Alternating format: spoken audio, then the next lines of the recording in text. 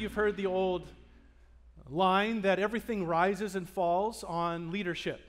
Certainly, that's true in a very personal sense in our homes. I remember uh, the first time that we were in, I think, Colorado, we were in a little cabin, and I told the kids, I said, hey, we're, we're off here in the woods, and we're not going to be able to go to, to church tomorrow. And you would have thought that I had just shot their bunny rabbit or denied the faith. I mean, they looked at me like, are we still Christians? And uh, so I, my, my little ones, I, the next morning, I think we held a little Bible study. You know, uh, Peyton sang, and then Ethan did announcements, and I, and I taught a little bit. Because it really hit me like these kids are watching, and I think we all would agree that where daddy goes and mommy goes, ultimately the, the family goes. And certainly that is true on a macro level uh, as well. There's an old story that R.C. Sproul tells about a, a Jewish lad, a Jewish boy. And he was in Germany, and growing up, his family was Orthodox Jew, very faithful. They would go to the synagogue every single week. And uh, when they moved towns, there was no synagogue. And so the story goes that the dad, with only a Lutheran church in town, said, Hey guys, sorry, we're not Jewish anymore. As of this Sunday, we're going to be Lutheran. And so they all went to the Lutheran church. They got home, and this little guy was bewildered. The family was bewildered. They looked at Papa and said, Why are we doing this? And his dad said, Because it's good for business. That little guy grew up frustrated. He grew up confused. He grew up embittered.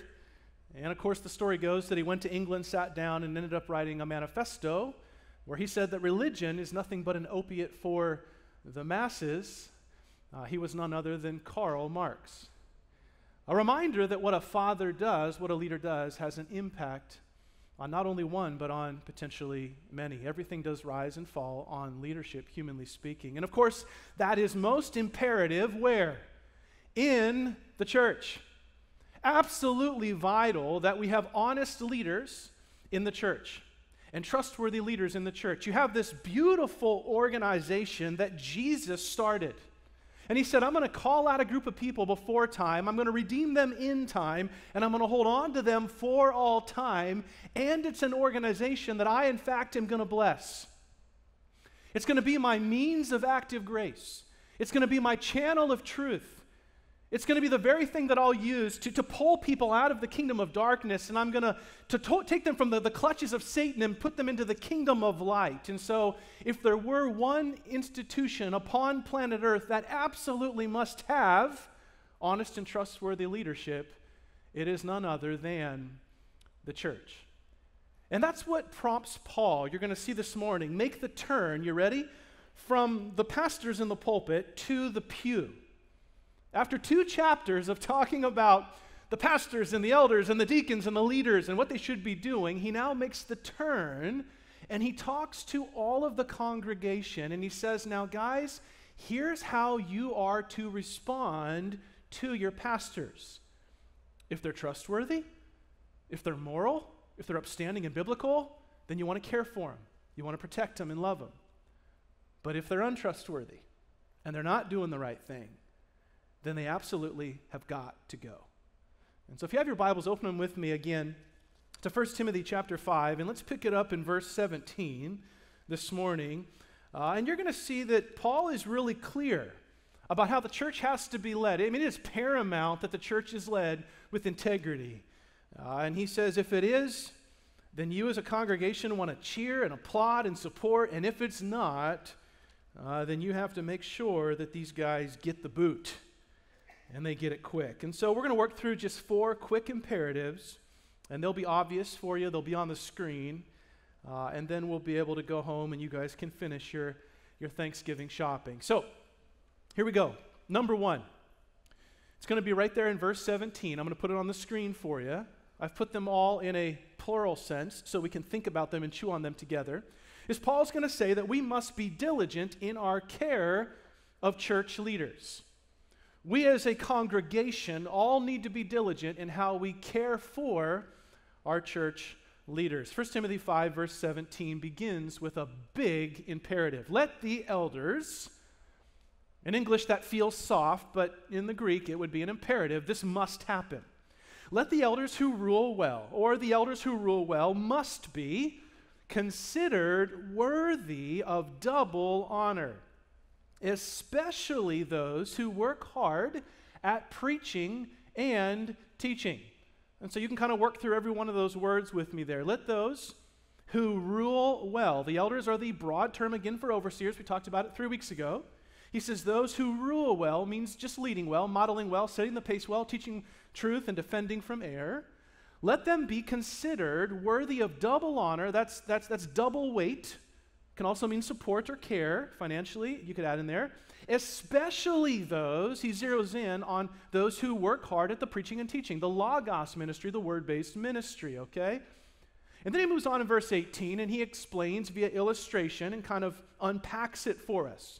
He says, For the scriptures say, number one, you shall not muzzle the ox while he is threshing. And number two, in quote, the labor is worthy of his wages. And so he supports his big declaration in two ways. Number one, he points back to the Old Testament, the law, and Moses in Deuteronomy 25. And number two, he points to Jesus uh, in Luke chapter 10, verse 7. And he says, from the Old Testament, of course, going all the way back to the law in Deuteronomy 25, he says, Moses told us that when there was an ox that was threshing, and I know today we don't really have a lot of oxen in our backyard threshing, but if you were, they would be in a little circular pen, and they'd be going in a circle with a threshing board behind them that would be separating the wheat kernels from the chaff.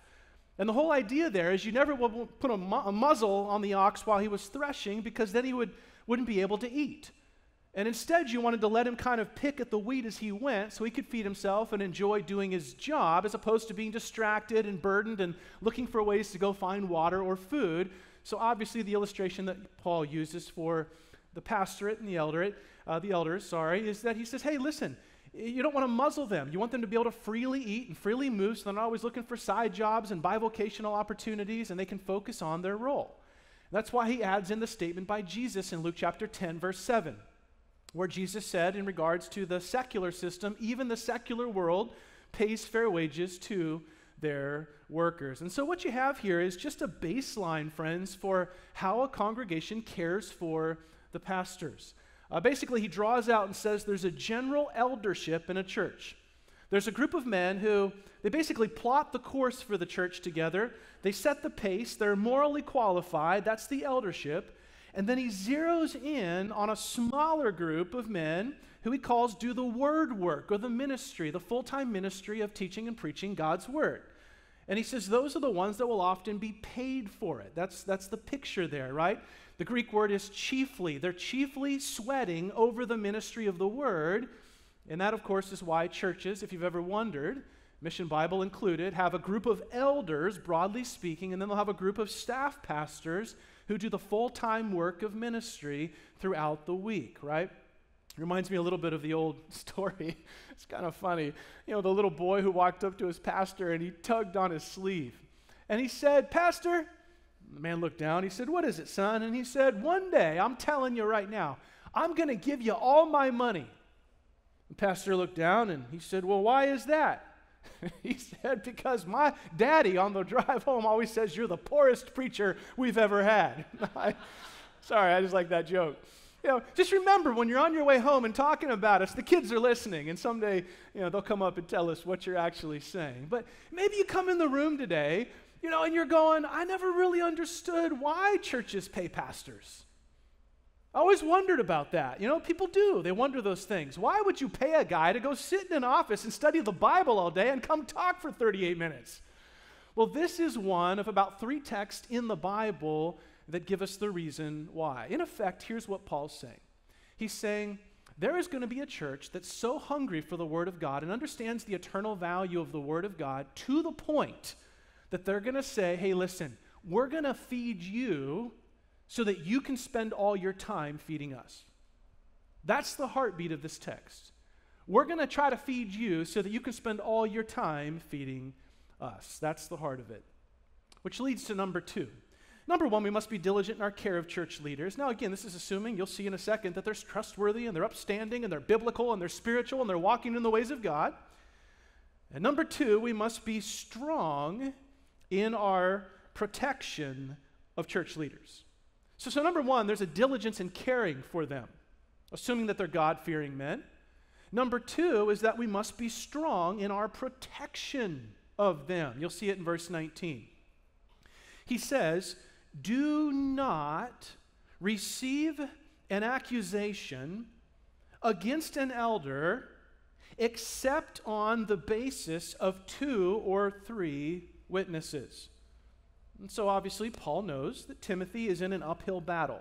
You know, Satan is going to, to hurl every arrow he can at Timothy and at the elders at Ephesus. And he says, We're not going to do the frivolous stuff here. We're not going to let every threat and every accusation be something that takes you out. We're going to make sure that there are witnesses and there are evidence for the things that are brought against the leaders of the church. And I trust this morning that everyone understands why this is so important. I mean, the, the reality, friends, let's just be honest, is that there's never going to be a true pastor, preacher, or teacher who is publicly declaring the truth against the kingdom of darkness, who Satan is not going to fire, fire, fire an arrow at. There's never going to be a preacher or teacher of the truth who Satan is not going to try to take out and create subterfuge for. That's just a reality. In fact, if you take the Bible and you look at it all the way from Job to Moses to, to David to Jeremiah to Nehemiah to Joseph, all the way to Jesus and Paul, you just literally are always going to see the fact that Satan's not going to sit back on his laurels and go, hey, I'm the prince of the power of the air, and there's these truth tellers that are out there, and they're taking souls from me and they're bringing them to King Jesus. Oh, by the way, hey, demons, let's just let that fly. Which is why the old Puritans used to always say that truth always has a scarred face.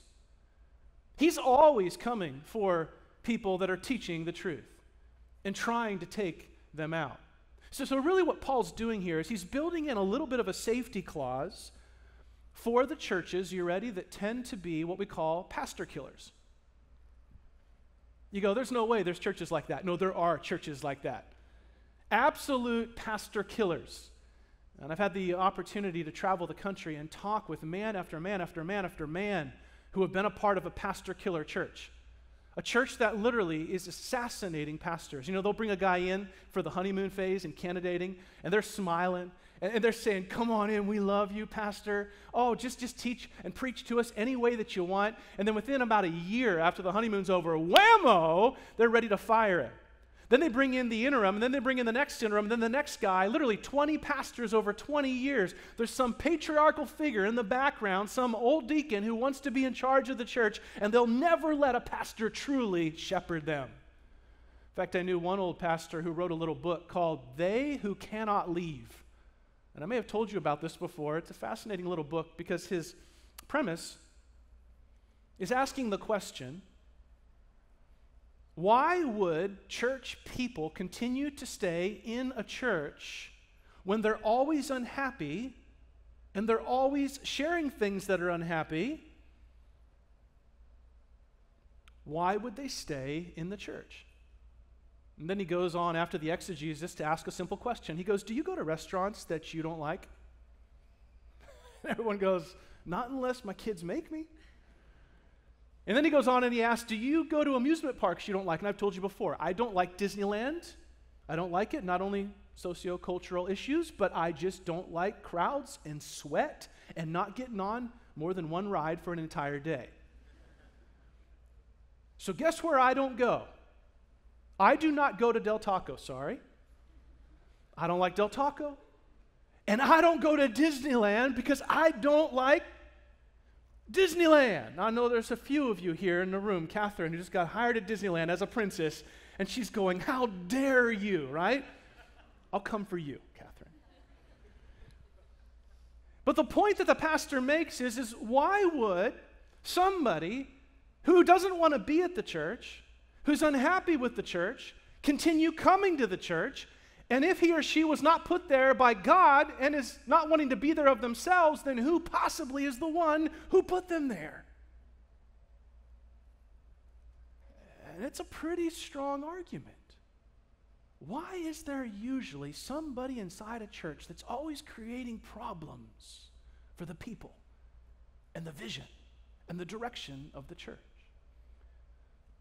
So, what Paul says here is that if there's going to be an actual issue, an accusation brought against the pastor, you want to make sure that it comes with two or three witnesses, that it comes with evidence, Because, as Proverbs chapter 18, verse 17 says, the one who states his case first seems right until the other comes and examines him. Now, I want to pause right there and just add in a little personal note there that this is one of the dangers, friends, of cancel culture. And now, I know you're all feeling it. For a long time in our country, because of our Judeo Christian background, the sociocultural belief system, the sociocultural law, in quote, was that you were innocent, finish it with me, until proven what? Right? What is it now? You're guilty even if you're proven innocent. Once the court of public opinion has spoken, there's no going back. Now, here's why this is so important. If we want to get along together as a family, and I know you feel this way about your own family, your own friends, and your own work, right? Is you want people to take you at your word. And you would never want anybody to come at you and go, hey, this Yelp review said, or this customer said, therefore it must be true. And what Paul says is, is that applies to the church as well. Now, if we were to stop right there, here's the question that we'd all be asking, and you're already asking it. But, Tony, does that mean? Actually, you're not asking me, you're asking Paul. Paul, does that mean then that, like, pastors can just do whatever they want? Like, like, like we're supposed to just give them a paycheck and then stand back and nobody can ever bring an accusation against them? Tony, isn't that what happened with Hillsong? And then you're starting to name off all the big entrepreneurial churches that have fallen over the last five years. That's what you're thinking right now. I know you are because I'm thinking it too. Which is why Paul doesn't actually take a step back in the next verse. He takes a step forward and he gets strong about the leaders. Yes, you care and you honor and you protect the trustworthy ones. But look what he says about the immoral ones in verse 20. All right? We must be diligent in our care of church leaders. We must be strong in our protection of church leaders. But look at number three. We must be public in our rebuke of church leaders. He says, not only are you going to deal with immoral leaders, you're going to publicly expose them. Verse 20 those who continue in sin. And if you have your pen out, you want to just kind of underline that because that's a plural present participle. A better way you could write it in the margin to be interpreted would just be the sinning ones. The ones who are going on in sin, the ones who are greedy, the, the ones who are sexually immoral, you know, the ones who are, are spiritually abusing the congregation, the ones who are taking advantage of weak willed women, the sinning ones. Look what he says rebuke, which means expose, even shame them in the presence of who? Of everybody. And then the hina clause, so that the rest also may be fearful of sinning, meaning the rest of the pastors and elders, the congregation as well, but primarily that group, they go, We're watching what's happening to that guy, and therefore we're going to be on our face and we're going to follow the Lord and we're not going to mess around. So there's no immunity here. In fact, he takes it up a notch and says there's going to be public censure of a leader when he messes around. And then the reason is in verse 21 I solemnly charge you in the presence of God Timothy, I am with sober mindedness charging you. You have to do this. And the reason is you're in the presence of God and of Christ Jesus and of his chosen angels to maintain these principles without bias, doing nothing in a spirit of partiality.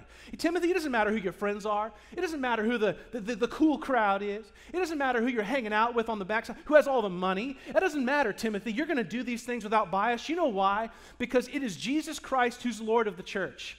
And in Revelation chapter 2 and 3, it says, He walks among the lampstands and He says, Don't you lose your first love.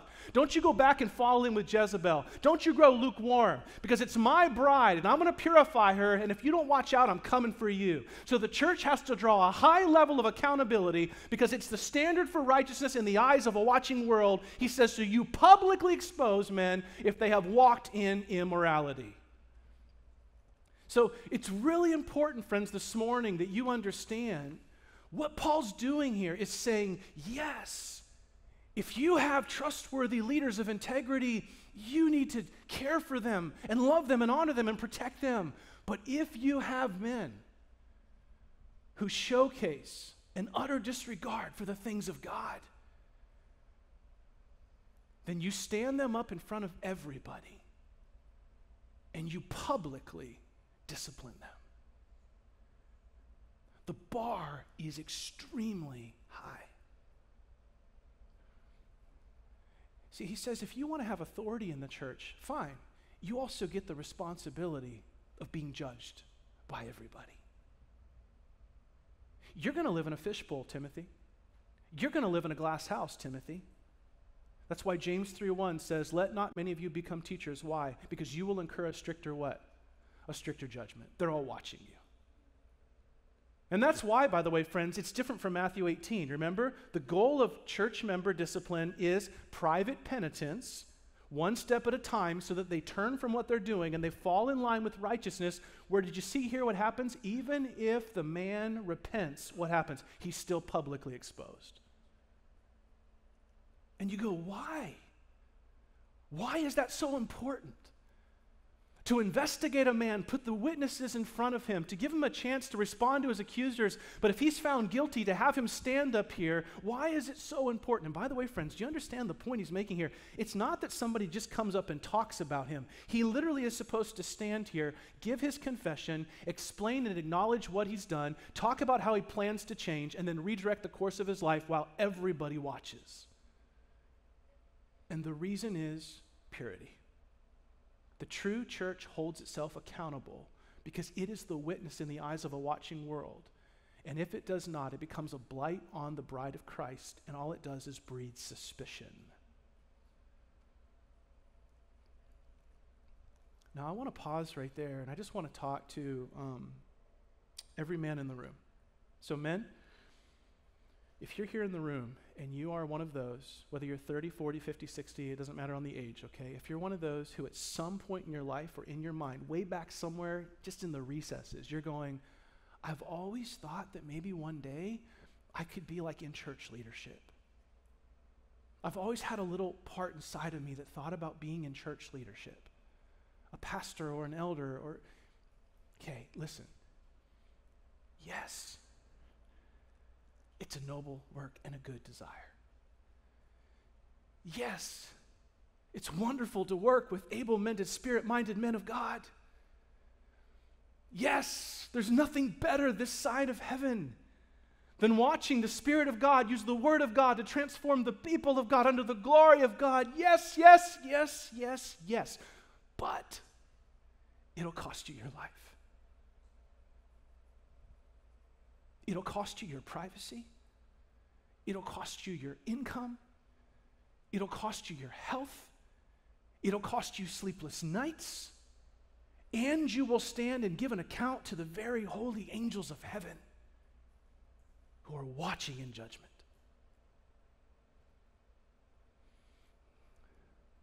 So go slow. Pray deeply. Take it seriously because Jesus does. Which is why Paul naturally goes to the next one. You see number four? He says, listen, we, we've got to diligently care for good church leaders. He says, we have got to, to be strong in our protection of, of noble, upstanding church leaders. We've got to openly rebuke those who dare bring a blight upon the bride of Christ. Which leads to number four we must be wise, or even you could insert slow in our selection of church leaders. You see it there in verse 22? He says, Don't lay hands upon anyone too hastily.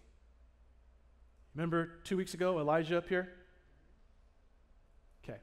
Laying hands is not conferring anointing and power. I don't have that. Laying hands is identifying it. Here's what God's doing in the life of a man. He says, Don't you do that and lay hands on a young man, identifying that this is a gift by Christ to his church. Don't you do that too hastily, or look at the outcome. If he sins, you thus share, and this is the word koinonia, by the way, you have a bond of fellowship. You share in the responsibility for the sins of others, meaning his sin or his collapse or his fall, his moral ineptitude. Keep yourself free from sin. He says, when you do that, you lay your hands on a young man. He's not tested, he's not tempered, and he falls. He says, you're complicit in that. You're bonded to that. And then in verse 23, no longer drink water exclusively, but use a little wine for the sake of your stomach and your frequent ailments. And by the way, on that one, every scholar or commentator you go to, everyone's confused. Because it feels so random to insert that there. Guys are like, well, it's parenthetical and whatever. I think plausibly you could argue that that's in context where Paul knows that Timothy is prone at this stage in his young life and ministry towards an ascetic lifestyle, towards what we call cage stage, where he's basically like, I'm not even going to take a little bit of medicine for my tummy. And Paul's trying to remind him, Timothy, as you look at these things, the expectations for young men in ministry, including yourself, remember it's not what goes into a man that causes him to sin, it's what comes out. So take a little bit of Benadryl and you're going to be okay. You can go work that out on your own, pull a few commentaries. But obviously, the point, verse 24, is that the sins of some men are quite evident. Going before them to judgment, remember, human evaluation here. He's talking about the pastorate, talking about being an elder. The sins of some men are so evident it goes right before them to evaluation, but for others, their sins follow after. There's a facade and there's a veneer, and you're not really certain what they're up to, so you got to give it time. Likewise, also, deeds that are good are quite evident, and those which are otherwise cannot be concealed. Hopefully, you see the point he's making, right? He says, Truth and time go hand in hand. Watch a young man, and you'll watch the little breadcrumbs of his life, and that'll lead to the source of who he is. You know, you watch the fruit of his life, and that'll lead to the root of who he is. Just go truth and time, go slow, he says, and then you'll know. Then you'll know if he's truly called into the ministry. Now, I think, friends, this morning, I hope we all get this the importance of going slow, right? I mean, just real quick who's a father in here of a daughter? Wow, okay. Lots of baby girls. All right, what's our biggest fear, dads? Having a daughter. See the big smiles? Every man in here is united on this. What is it? You raised this little girl. She is cute as a button. She walks like a princess, her long flowing hair. She sits on your lap, so much better than our little boys, the smelly big feet, right? And you invest in her and you guide her and you train her and you love her. It's just, just different than your sons. What's your biggest fear? Talk to me now. You know exactly what it is. It's when, when, it's when the goon guy shows up and says, Oh, I think I could actually take care of her better than you, you know. And He's got his hoodie up. He's like, Yeah, I got this, bro. Now, why are we all so worried about Goon Boy? Because if they truly fall in love and they're walking down that aisle together, you and I both understand something that they don't even understand yet, which is what? If God forbid that marriage fails. What does it feel like for everyone? The entire family fails. Is that not true? The emotional hurt, the physical hurt, the financial consequences, the spiritual consequences. And we're watching them walk the aisle and we're thinking, oh Lord, please just help them to finish this thing well. That's what Paul's saying to you as the bride of Christ. He says, before you get married to a leader, you make sure that you go slow and you make sure that it's the right one. Because if that leader fails, it is going to feel like the whole family failed. And every single person in here who's been in a church that had a leader who went through a moral blowout knows exactly what I mean. It felt like a part of you was being lost.